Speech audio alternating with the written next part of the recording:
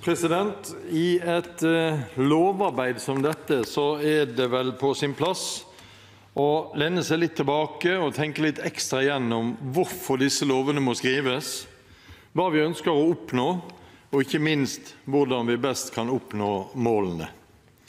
Noen av svarene på de spørsmålene er enkle, noen mer innviklede. Ja, hvorfor må disse lovene skrives? Å ha en lov om at det ikke skal diskrimineres, burde være unødvendig. president. Dette handler om noe så grunnleggende som å behandle hverandre med respekt, slik jeg og slik du er.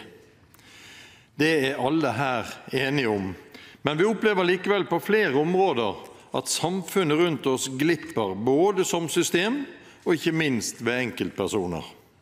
Derfor er det viktig og avgjørende at vi har et lovverk som både veileder, legger til rette for og som klargjør konsekvensene av å ikke ivareta denne respekten for hverandre på en ordentlig måte.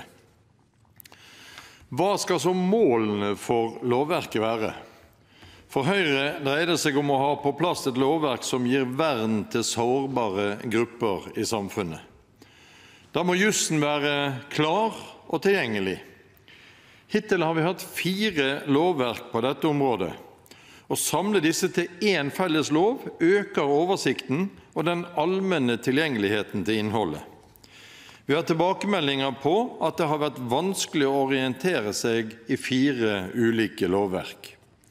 Et klart flertall av høringsinstansene uttalte seg også positivt til at dagens lover foreslås samlet. Samtidig er det viktig å presisere at lovforslaget regjeringen nå har fremmet, i hovedsak er en videreføring av gjeldende rett. Det presiseres at lovens formål skal være å fremme likestilling og hindre diskriminering.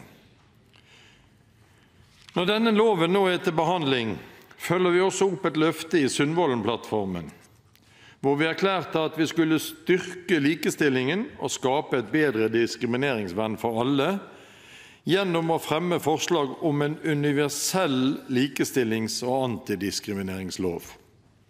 Ja, Høyres initiativ til dette er for øvrig gammelt. Allerede i 2006 foreslo Høyre dette i et representantforslag, og nå ligger endelig lovforslaget her. Da har jeg vært gjennom de enkle svarene. president. Nå til den delen det er vanskeligst å svare skråsikkert på. Hvordan kan vi best oppnå målene våre? Jeg skal være ærlig og si at det åpenbart er flere måter å oppnå målene på, og at det er en avveiing og sammenstilling av virkemidler som er viktig. Diskriminering og forskjellsbehandling skjer fortsatt og i altfor stor grad. Da må vi se hvordan vi kan målrette tiltakene og ressursene for å få enda bedre resultater enn det vi har oppnådd så langt. Derfor har vi foreslått å endre ressursbruk og oppmerksomhet. Det foreslås å videreføre og forsterke arbeidet rundt aktivitetsplikten. Alle arbeidsgivere skal ha en generell aktivitetsplikt, og alle offentlige arbeidsgivere og private arbeidsgivere som jevnlig sysselsetter mer enn 50 ansatte, skal underlegges en konkret aktivitetsplikt. Redegjørelsesplikten foreslås ikke videreført. Det er aktivitet som bedrer situasjonen, ikke redegjørelser. Forslaget er ærlig og godt ment som et tiltak for å øke innsatsen rettet mot aktivitet. Når det nå ser ut til at et stortingsflertall mener redegjørelsesplikten skal opprettholdes, er ikke det et stort og tyngende nederlag og på ingen måte avgjørende for intensjonen i loven. Vår intensjon var økt innsats på aktivitet. Vi får håpe virksomhetene fortsatt tar med seg det signalet. For Høyre har det også vært et viktig prinsipp at det er grenser for politikk. Å gjøre dette lovverket gjeldende også innenfor privatlivets indre rammer rører ved dette prinsippet for oss. Ja, det er selvsagt lover og regler som også gjelder der, men for oss blir det feil på dette området. Det står vi for, så får Stortinget bestemme den avgrensingen ved voteringen her i dag. Likestillings- og diskrimineringsloven sammenfatter nå forbud mot diskriminering på grunn av seksuell orientering, kjønnsidentitet og kjønnsuttrykk, loven om likestilling mellom kjønnene, forbud mot diskriminering på grunn av etnisitet, religion og livssyn og forbud mot diskriminering på grunn av nedsatt funksjonsevne. Regjeringen foreslår å styrke diskrimineringsvernet gjennom enkelte nye bestemmelser som ikke følger av dagens diskrimineringslovgivning. Annet foreslår departementet at plikten til universell utforming av IKT skal utvides til også å gjelde utdannings- og opplæringssektoren, noe som f.eks. vil ha stor betydning både for elever med funksjonsnedsettelser og deres foresatte. Regjeringen foreslår også en ny bestemmelse om at læremidler og undervisning i barnehager, skoler og andre utdanningsinstitusjoner skal bygge på likestillings- og diskrimineringslovens formål. Det foreslår også at forbudet mot aldersdiskriminering utvides til å gjelde på alle samfunnsområder, og en utvidet adgang til positiv særbehandling av menn. Alt dette er viktige presiseringer og en tydeliggjøring av tiltak som kan bidra til høyere måloppnåelse og en bedre hverdag for gruppene det gjelder. Proposisjon 80 omhandler håndhevingen av lovverket. Det er viktig for tilliten hos de berørte at det er ryddige og klare grenseoppganger mellom aktørene på feltet. Den juridiske omleggingen har følger for håndhevelsesapparatet. Det er flere forhold ved dagens håndhevingsapparat som ligger til grunn for forslaget om ny organisering. For det første kan en sammenblanding av ombudets pådriver- og håndheverrolle være prinsipielt uheldig fordi en slik dobbeltrolle kan være egnet til å svekke tilliten til ombudet i lovhåndheverspørsmålene. For det andre er saksbehandlingstiden i dagens håndhevingsapparat svært lang. Det foreslås at lovhåndheverrollen skilles ut fra ombudets oppgaveportefølje og overføres til et nytt håndhevingsapparat. Ombudet skal fortsatt gi rettighetsveiledning om diskrimineringslovgivningen, herunder veiledning om aktivitetsplikten overfor arbeidsgivere.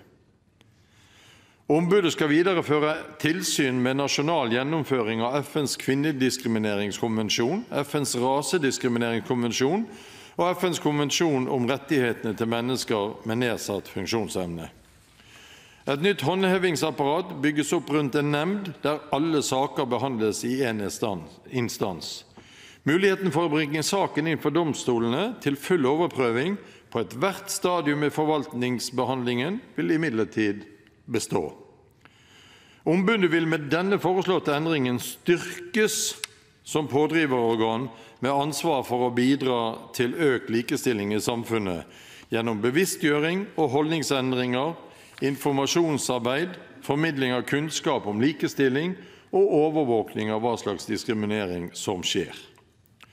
Å skille ut lovhåndheveroppgavene fra Likestillings- og diskrimineringsombudet vil gi ombudet en friere stilling i pådriverfunksjonen, slik at de ikke må balansere mellom hensynet til nøytralitet i lovhåndheverrollen og nødvendigheten av å være en klar og samfunnskritisk røst i pådriverarbeidet. Nytt håndhevingsapparat vil også gi en rask og effektiv saksbehandling fordi en bare må forholde seg til én instans mot to i dag.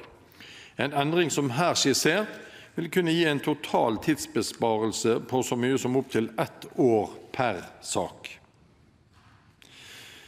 Til slutt vil jeg vise til at Høyre og Frp i innstillingen ikke er med på forslag 2 fra Kristelig Folkeparti, president, men at vi likevel vil stemme for dette i dag. Vi har vært betenkt på at forslaget synes å forhåndskonkludere men mener det selvsagt er viktig å se på hvilke ressurser som kreves for å følge opp vedtaket og sørge for oppfølging av dette. Regjeringen har arbeidet godt med det nye lovforslaget, hatt gode høringsrunder, og det er en helhetlig og god løsning eh, vi inviteres til å vedta i dag. Så vil jeg også ta med en, en stemmeavklaring eh, utover det jeg altså nå varslet om at um, Høyre og vil, nei, Høyre og Fremskrittspartiet vil støtte Kristelig Folkepartis eh, forslag 2 i proposisjon 80 L. Vi vil også støtte de utredningene som Venstre eh, foreslår i forslag 5 og 6, så vi vil også stemme for de eh, forslagene. Og så er det slik i proposisjon 81 L at vi ser ikke grunn til å stå ute av forslag 5 fra Arbeiderpartiet og Kristelig Folkeparti som, som eh, får flertall i salen i dag. Vi ønsket en mer presis beskrivelse, men skjønner intensjonen med det som nå gjøres, og vil altså derfor også støtte det.